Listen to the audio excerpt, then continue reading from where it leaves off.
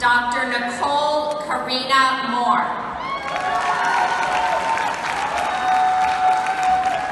Dr. Elizabeth Heather Mullins. Mm.